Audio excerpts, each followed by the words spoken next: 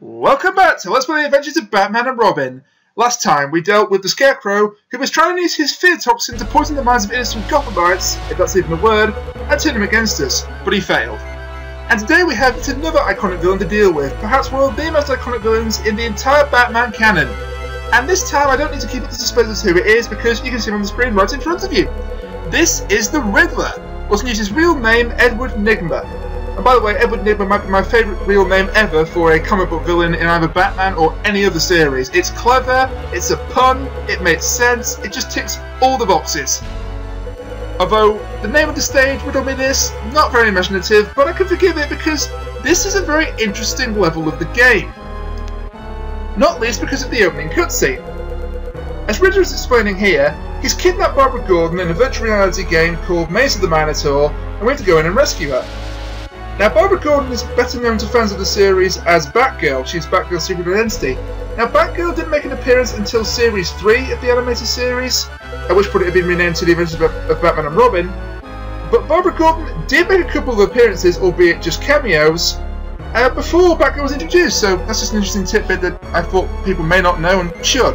Also, I'm not quite sure how Alfred knows that Batman needs to bring plastic explosives to blow up walls in a virtual reality simulation. I think that may be a plot hole. Speaking of equipment, you need to bring the plastic explosive and the X-ray goggles. These are essential or you cannot beat the level. If you don't bring those two items along, you are SOL. Anything else you don't need. You're definitely not going to need the bat spray or the smoke bomb.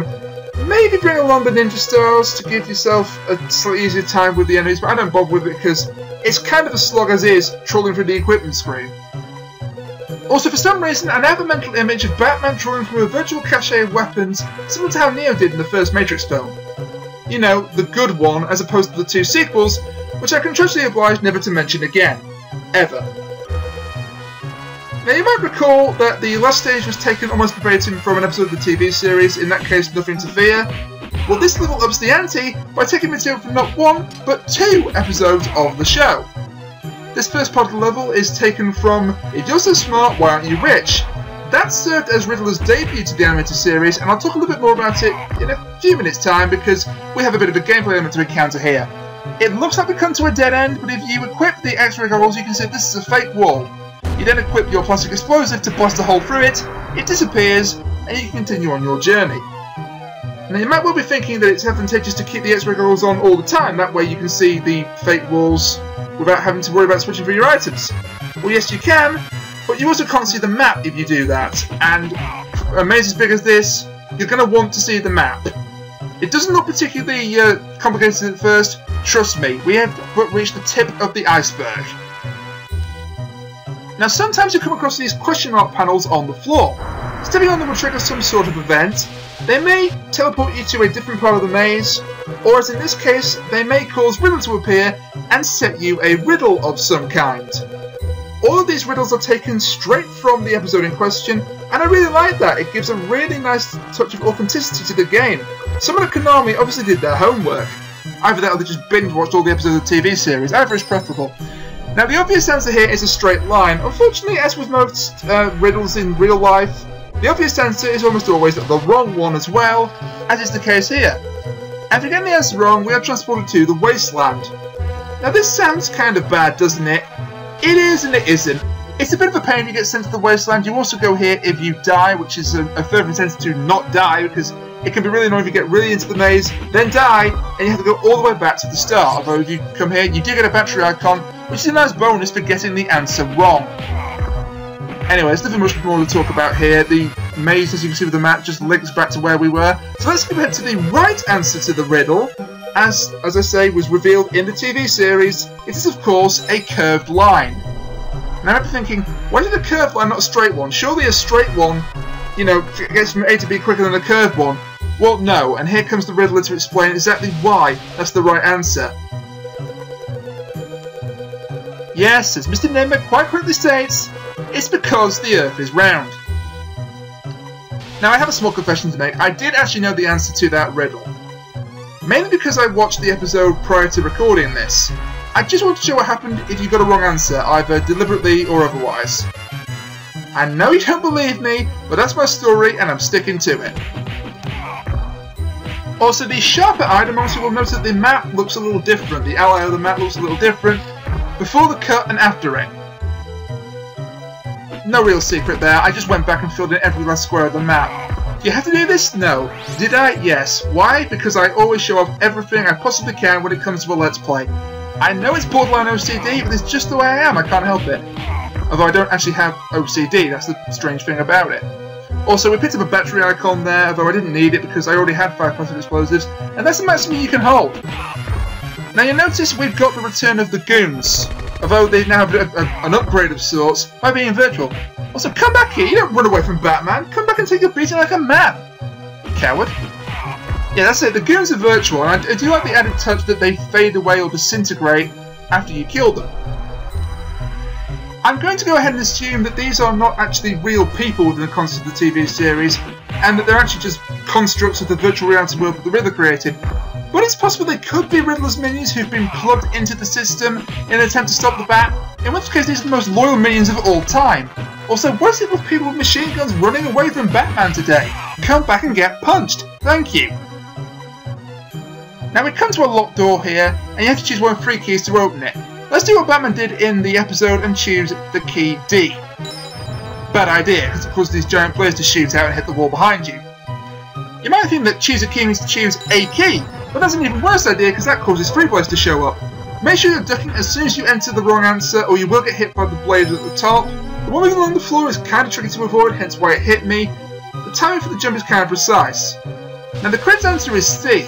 Those of you who are musically inclined will have already got this answer. Those of you who aren't, Fear not, because here comes offer the riddle to explain away. It's all to do with the number of sharps that each note has. D has 2, A has 3, but C has no sharps and therefore no blades. Also, a rare compliment from the Riddler there. I do like how, in the animated series at least, Batman and the Riddler had a grudging respect for one another. Batman acknowledges that Riddler is a genius, albeit a flawed, maniacal one, while the Riddler admits that Batman is not just a brawny superhero, he also has brains to match. And now we come to one of the more fiendish traps that this maze has to offer. This may look like just another ordinary question mark panel, but it's far from it. It may not be immediately apparent looking at the map, but that question mark panel actually sent me back further into the maze. I know we haven't been here yet, but this is not the right way to go, trust me. Now, you can get a life refill if you head all the way to the left here, which is a nice bonus, I guess, but it's not really worth the hassle this time because it's a long way back to where you should be. Fortunately, any questions advance to stay answered, so we don't have to deal with the large blades or, or the key puzzle again, the door will just be open. But let's get back to where we need to go. But first, let me show something rather funny that happened during this take. Remember the guy with the machine gun who ran away from me? Well, it turns out, if you let him run away from you, then hit with the batarang, he'll drop his gun, continue to run, and keep your eye on this guy. He will eventually run all the way into the right wall, at which point he'll revert back to being a normal goon. Now what you're actually meant to do is use your X-ray vision to reveal that this is in fact a fake wall. Blast your way through it with your explosives, and then reveal the real path further into the maze. I use the X-ray vision here just to prove that isn't a fake wall, though if you look at the map, it couldn't possibly be a fake wall, because that would take you beyond the boundaries of the maze, and that would never do. And because it's a Konami game, they pull the exact same trick on you twice in a row, but this time, you're not going to be fooled because you've just encountered it. At least those fake pounds don't take you all the way back to the wasteland, because my god, would that ever suck. Now, I mentioned earlier that this the level was taken from If You're So Smart, Why Aren't You Rich? The wasteland makes an appearance in that episode, and actually has a double meaning. It's both the name of a dead-end area in the maze game that Robin plays early in the episode, and it's the name of a nightclub owned by the character Mockridge. Mockridge is Edward Nygma's boss.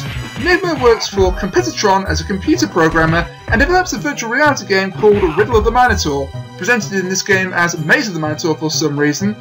Unfortunately, Mockridge is a shady businessman and tricks Nygma into signing away his rights to the game. He then fires him so he can't make a profit from it. Understandably annoyed, Nygma transforms into the Riddler, first to destroy Mockridge, and traps him in a real-life version of the maze that we've been going through in this virtual reality simulation.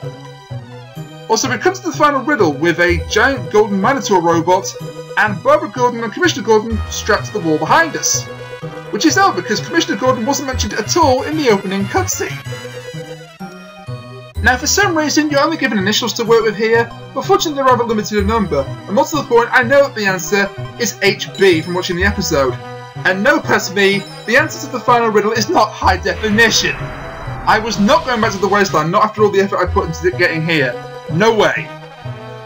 HB in this instance standing for human brain. Getting the right answer causes the Gordons to disappear, which prompts me to ask if they were ever actually there in the first place. Also, although he wasn't mentioned at all in the opening cutscene, Commissioner Gordon is kidnapped in the other episode that this level takes from, whereas Barbara Gordon is a true rebel now because she doesn't appear in either episode. Getting the right answer also angers the Riddler to the point that he sticks his golden Minotaur robot, or whatever the hell this thing is, on us. Now this guy looks big, powerful and intimidating, but he's actually a cakewalk. If you have any plastic explosives left over, use them on him because they're really effective. Otherwise, wait for him to wander over to the wall, jump over him, then he'll take all the time in the world to turn around, and you can get a load of free hits on him. Just don't get too cocky, because you can also sort of bait him out, like walk up to him, punch him, and then slowly back away. But you need to leave yourself enough room to jump over him, otherwise you jump on him, and as I say, he does do a lot of damage if he does manage to hit you. Otherwise, he's really rather easy. Also, don't use the Batarang against him because it's completely ineffective. And yes, that Minotaur did show up in the episode as well, where it was just as ineffective at killing our hero. The Riddler shows up once again to give us another backhanded compliment. It's kind of a shame they didn't give the Riddler an actual portrait as opposed to just text saying the Riddler. I'm not sure why they did that. They even do that in the game over screen for him. Anyway, he drops the standard oh the real threat begins now cliche, floor disappears, and we drop with it. But don't worry, because your game's not over, he's just transporting to a different part of his virtual reality world.